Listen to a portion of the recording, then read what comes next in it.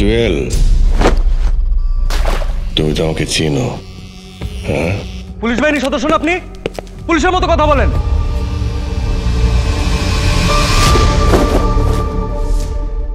Hello everyone this is Zahid Khan দেখছেন CineBoss the right place for all the movie lovers আজ আমি কথা বলব বাংলাদেশের ওটিটি প্ল্যাটফর্ম চরকি থেকে রিলিজ পাওয়া সিরিজ মরিচিকা নিয়ে। ট্রেলারটা দেখার পরে এটা নিয়ে বেশ এক্সপেকটেশন ছিল আমার কারণ বাংলাদেশের বেশ কিছু জনপ্রিয় অভিনেতা এবং অভিনেত্রী অভিনয় করেছেন এখানে। বাট এটা দেখার পর এটা নিয়ে আমি বেশ ডিসঅ্যাপয়েন্টেড এটার স্টোরি শুরু হয় একটা মার্ডারের ইনভেস্টিগেশন দিয়ে, যেটার দায়িত্ব দেওয়া হয় সিয়াম আহমেদকে এখানে মার্ডার হয় মাহিম হাই এবং তার হাজব্যান্ড থাকে জোভান আহমেদ। অন্যদিকে আফরান নিশো থাকে বরমবাবুর একজন পলিটিশিয়ান যিনিও এই কেসের সাথে কোনো না কোনোভাবে জড়িত। তো এই মার্ডারের রহস্য উদ্ঘাটন নিয়েই পুরো সিরিজটি এই সিরিজ নিয়ে বেশ কিছু কথা বলব। প্রথমত একটা সিনেমা এবং একটা সিরিজের প্রধান পার্থক্য থাকে ক্যারেক্টারাইজেশনে তো একটা সিনেমায় সাধারণত লিমিটেড সময় প্রত্যেকটা ক্যারেক্টারকে ডেভেলপ করা সম্ভব হয় না। এ কারণে দেখবেন দুই, তিনটা ক্যারেক্টার। লাইক নায়ক, নায়িকা ভিলেনকে ক্যারেক্টারাইজেশন দেওয়া হয় এবং এদের দিয়েই সিনেমা শেষ করা হয়। বাট একটা সিরিজের রান টাইম থাকে অনেক। যেখানে প্রত্যেকটা ক্যারেক্টারকে সুন্দরভাবে ডেভেলপ করা যায় এবং সিরিজের মেকিং যদি খেয়াল করেন, দেখবেন এই কাজটাই সবাই করে। বাট এই সিরিজে কোনো ক্যারেক্টারকে সুন্দরভাবে ডেভেলপ করা হয় না, প্রত্যেকটা ক্যারেক্টার ছন্ন ছাড়া এই কারণে সিরিজের শেষের দিক গিয়েও যদি প্রত্যেকটা ক্যারেক্টারকে আলাদা আলাদাভাবে হত্যা করা হয়, আপনি একটুও কষ্ট পাবেন না। কারণ তাদের ইমোশন তারা কি চায়, তারা কি ঘৃণা করে এবং তাদের কি উদ্দেশ্য, তা সম্পর্কে আপনি মোটেই অবগত নন। এই সিরিজের রাইটিং ছিল একেবারে নিম্নমানের। এর যে গল্প এই গল্প আঠারো মিনিটে এক্সপ্লোর করা যায়। হাইয়েস্ট তিরিশ মিনিট দরকার এই পুরো গল্প এক্সপ্লোর করার জন্য। বাট পরিচালক এই লম্বা সময়ব্যাপী এই গল্পকে টেনে হিস্ট্রি কি করতে চেয়েছেন, আমি জানি না। গল্পে কোনো সামঞ্জস্য ছিল না। সিরিজের শুরুতে দেখানো হয় কল্পনার কিছু ঘটনা।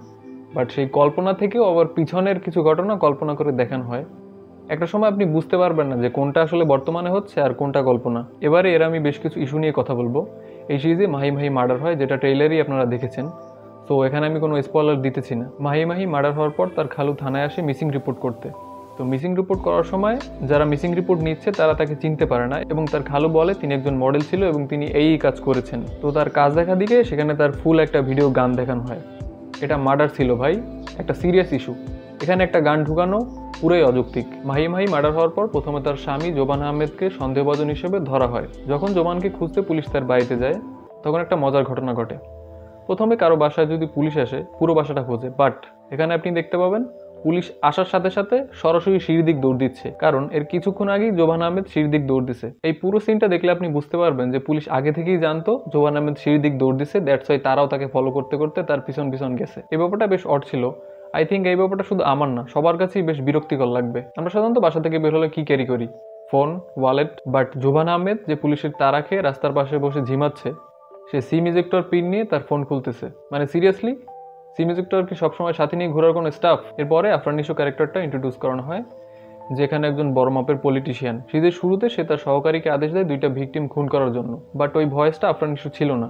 কিন্তু এরপরে সে যখন তার সহকারীকে ফোন দেয়, তখন তার ভয়েস ছিল। পুরো সিরিজে এরকম অনেক টেকনিক্যাল ইস্যু আপনার চোখে পড়বে, যেগুলো আসলে ইগনোর করার মতো না। সবশেষে একটা চমৎকার সংলাপের কথা বলি। জোবান আহমেদ বলতেছে যে এরপরে আমরা এক মাসের মধ্যে প্রেগনেন্ট হয়ে গেলাম। এতদিন আমি জানতাম শুধু ফিমেল পার্সন প্রেগনেন্ট হতে পারে।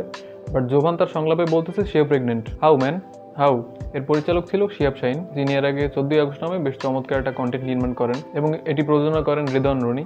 এবং হৃদয়ন রনির এফ এন এফ নাটকের আমি বেশ বড় একজন ফ্যান তো এই ট্যালেন্টেড পার্সন থেকে আসলে এই সিটি কন্টেন্ট গ্রহণ করার মতো না। তো এই সিরিজে আরও এরকম অনেক ইস্যু আছে। তো আরেকটি ইস্যুর কথা যদি বলি, একটা এপিসোডে শুরুতে দেখানো হয়, একজন লোক ডাকাতির শিকার হয়েছে। তো এরপর পুরো এপিসোডে ওই লোকের ব্যাপারে কোনো কিছু দেখানো হয় না এবং একদম এপিসোডের শেষে গিয়ে দেখানো হয়, তার কাছে পুলিশ গেছে।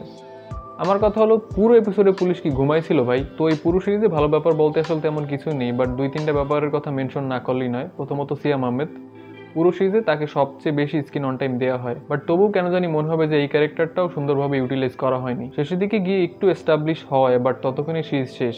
দ্বিতীয়ত আফরান নিশো যিনি এই সিরিজের বোঝাই এই পুরো সিরিজটা দেখার যদি একটা মাত্র রিজন থাকে, সেটা হলো আফরান নিশোর অভিনয়।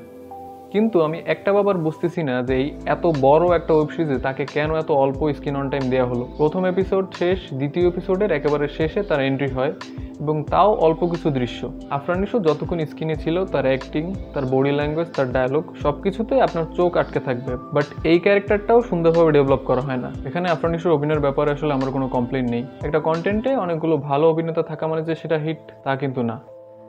সেই ক্যারেক্টারগুলোকে সুন্দরভাবে এস্টাবলিশড এবং সুন্দরভাবে যদি ক্যারেক্টারাইজেশন না দেওয়া হয়, তো এই ভালো অভিনেতা অভিনেত্রীদের কন্টেন্টে রাখার কিন্তু কোনো মানে হয় না। এবং এই সিরিজে সেরকমই হয়েছে। এবং এখানে আমি আরেকটা ব্যাপার মেনশন করতে চাই। পুরো সিরিজে কয়েকটা শুটিং সিন ছিল এবং গুলির যে ফ্লেয়ারিং সেটা এত বিশ্রী দেখাচ্ছিল, মনে হচ্ছিল যে গুগল থেকে কোনো পিএনজি ফাইল ডাউনলোড করে বসাই দিচ্ছে that's it recently dark side of Dhaka মহানগরের মতো ভালো ভালো কন্টেন্ট দেখে আমি প্রায় ভুলেই গেছিলাম বাংলাদেশের সিটি কন্টেন্টের কথা। এই কন্টেন্টটা দেখার পর সেই ব্যাপারটা আমার আবার মনে পড়ল। মহানগর তাকদিরের মতো কন্টেন্ট যদি কেউ সাবস্ক্রিপশন কিনে দেখে থাকেন, তো তারা বুঝতে পারবেন যে আপনাদের পয়সা উসুল। বাট এই কন্টেন্ট যদি আপনি সাবস্ক্রিপশন কিনে দেখেন, দেখার পর আপনার মনে হবে সাবস্ক্রিপশনের টাকা থাক ভাই, আমার এমবি ফেরত দাও। পুরো সিরিজে জাস্ট একটা ক্যামেরা টেকনিক ভালো ছিল। সেটা হলো, একটা পার্সন যখন বসে আছে, তখন ক্যামেরাটা নিচু অ্যাঙ্গেল থেকে ধরা হয়। আফটার দ্যাট সে যখন দাঁড়াচ্ছে, তখন ক্যামেরাটা তার বডি মুভমেন্টের মতোই উপরে উঠানো হয়। পুরো সিরিজে জাস্ট এই একটা ক্যামেরা টেকনিক আমার ভালো লেগেছে। সবশেষে আমি বলব টাইম ওয়েস্ট কন্টেন্ট বাট আপনি যদি আফরান নিশোর ফ্যান হন শুধু তার কারণে সিরিজটা দেখবেন, তবে দেখতে পারেন। বাট এখানে স্পেশাল তেমন কিছু নেই। এই লম্বা একটা সময় অপচয় না করার অনুরোধ রইল। অ্যান্ড এটা দেখতে গেলে আপনি কয়েকবার ঘুমিয়ে পড়বেন। পার্সোনালি আমিও কয়েকবার ঘুমিয়ে পড়েছি। দ্যাটস অল ফর টুডে ভিডিওটি দেখার জন্য অসংখ্য ধন্যবাদ। ভিডিওটি যদি আপনার ভালো লাগে চ্যানেলটি সাবস্ক্রাইব করুন। কথা হবে নতুন কোনো সিনেমা নিয়ে। Till then ta ta.